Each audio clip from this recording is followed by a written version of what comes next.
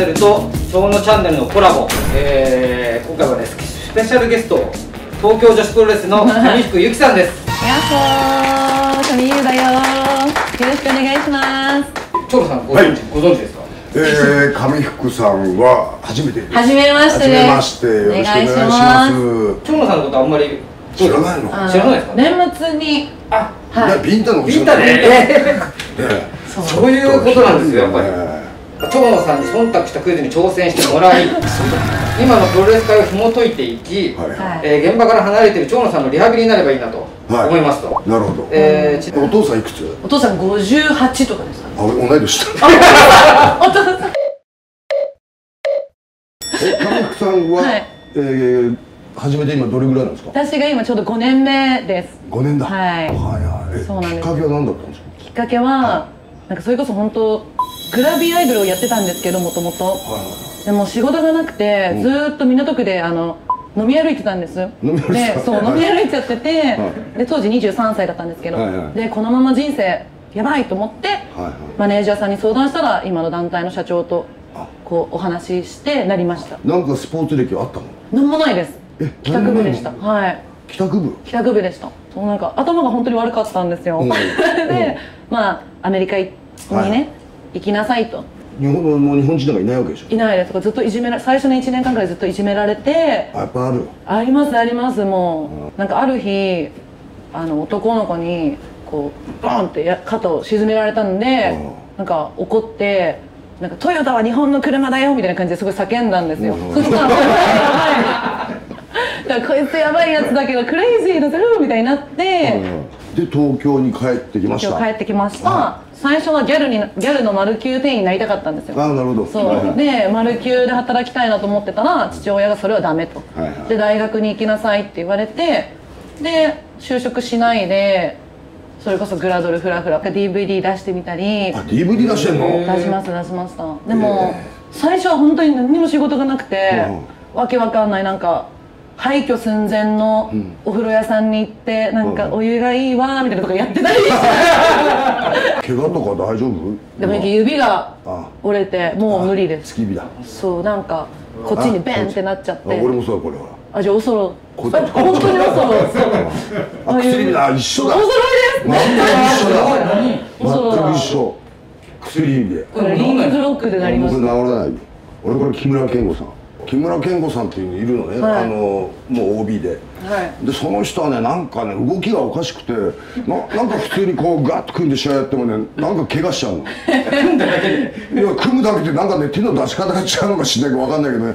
俺木村健吾さんでこの指やってその時木村健吾さんでこの指がこっちに乗っかっちゃってってね。俺試合中こうやってコーラゲンホールでうわーって言って怪我したりなんか見せちゃうんでレスラーって。試合中でこうなってうわーってってこうで指こんなになってるから。下バカッてまたボコッと戻って怖い怖いお揃いの人いてちょっと安心しました、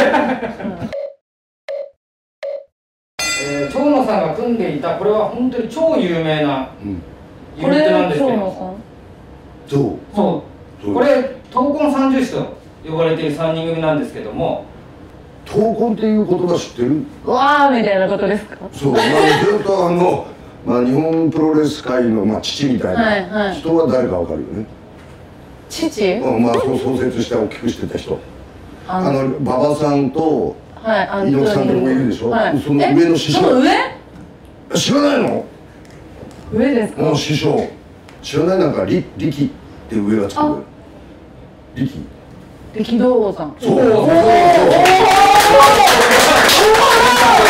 の言葉がこう猪木さんがついで、で猪木さんの今度下に若い選手たちに言ってで俺らがその闘魂の中の闘魂三重士っていう、でこのあのデブとハゲあハゲじゃないあのこの二人が盟友なん。ですけども、見たことあるでしょえなんかなんとなくそうかなと思うけど自信ないです。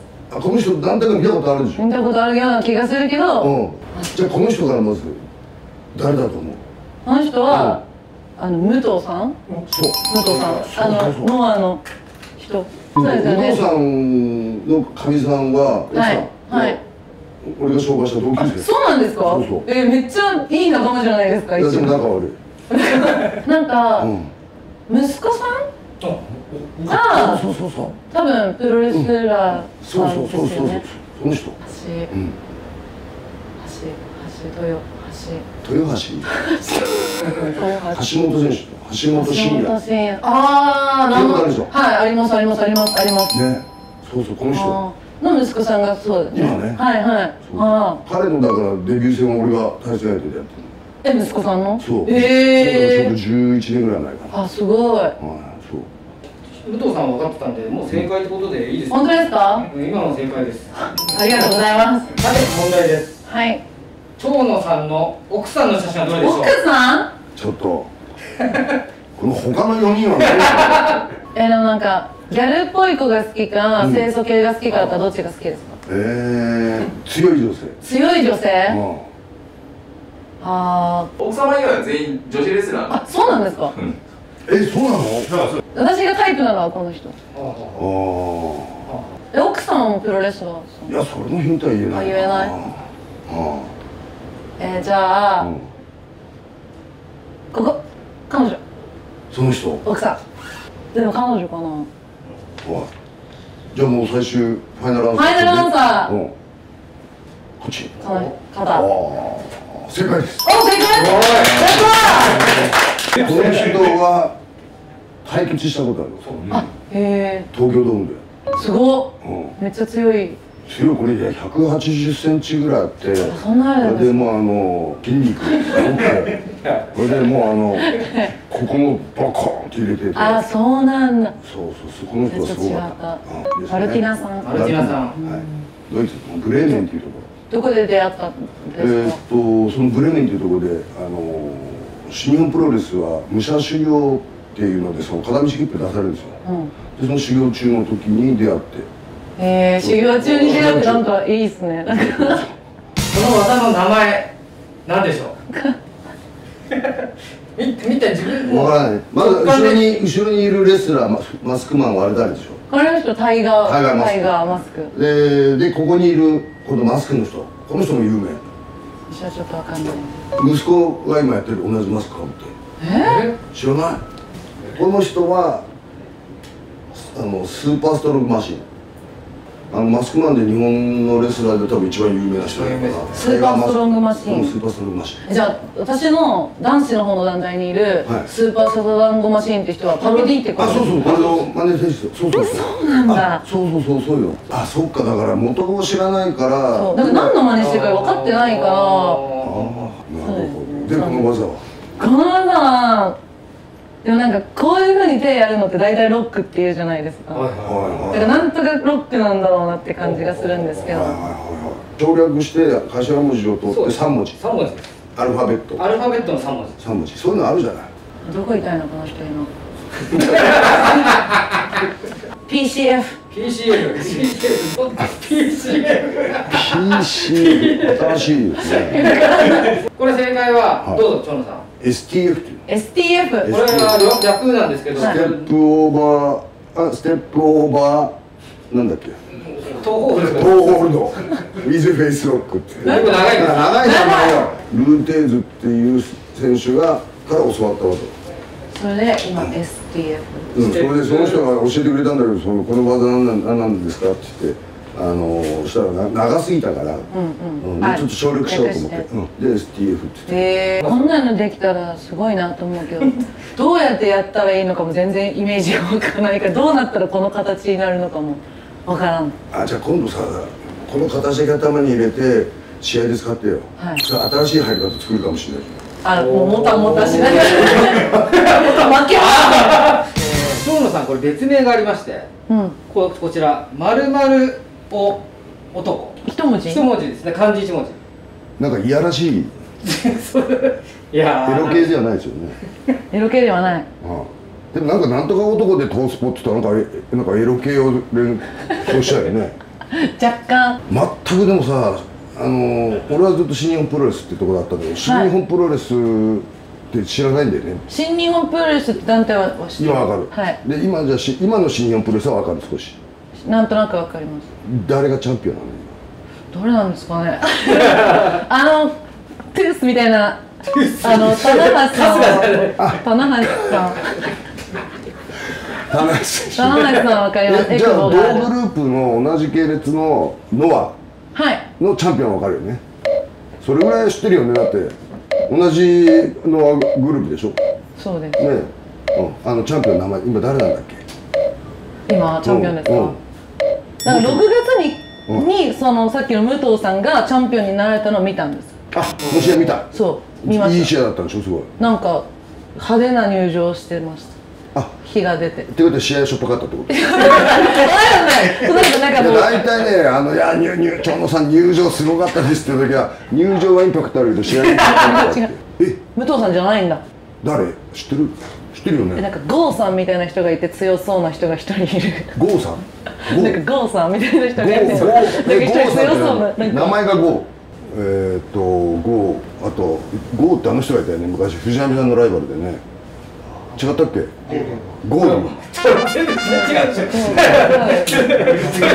う。中島君ですよね。あ彼今チャンピオン。へえ一番強いやつへえ彼はだから15歳ぐらいでデビューしてんじゃないそうなんだ。すごでそうだよこの問題。えじゃあまあヒントでいくとね太いとかね。硬い硬いとか。下の方に違う違う。あ全然違う。黒黒黒。よくでもね東京スポーツはひどいのがあの黒のカリスマとかっていうふうにあのキャッチフレーズがついたりするから、はい、あのボランティア活動とかで例えばどっかの施設に行きましたとかっていうと、はい蝶のあの黒いボランティアとかって書かれてちょっとダークな感じ。にそうそうなんか悪いことしに行ってるみたいなね。全部黒にしちゃう。東京スポーツは。あのものすごい爽やかなイメージだよね。爽やか。爽やか。草。草。草。草男 波？波を？波？あ近づい。てきてる波。海？海。近い。波海、うん、そう来た、うん、森。森。そっちじゃな。い波海そっち側塩塩塩それ。入りましたね。今海入りましたね。塩が海入って業界であの塩っていうのは。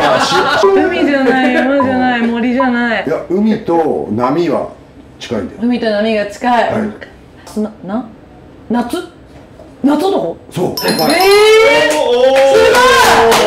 ごいこの夏男の由来するはい、あの新日本で真夏の祭典がありまして G1 クライマックスっていう、うん、それ知ってる聞いたことありますすごく大きな大会がありまして、はい、そこに長野さん優勝してるんですよ何回優勝してるでしょうえこれも優勝するだけですごいことです今年第何回ですか？23回とかそれぐらいやってる23回、はい、23回中、うん、3回。自分何回長野さんもいや俺今3回だって正解って言いそう あ三十回。回やってんだもん。三十回、はい、じゃあはい。えー、でもいっぱいプロレスラーさんいるからな。強い人も。5正解！すごいすごいなこんななんだろうもうペーペーオブペーペーみたいな人にもなんかいろいろと教えてくださったのでなんか自分もちゃんと学んだことこれだけは絶対忘れずになんかこう温故知新ではないですけどこの塩尾さんじゃなく 夏尾さんを私も夏女って言えるぐらい頑張ろうなって思います。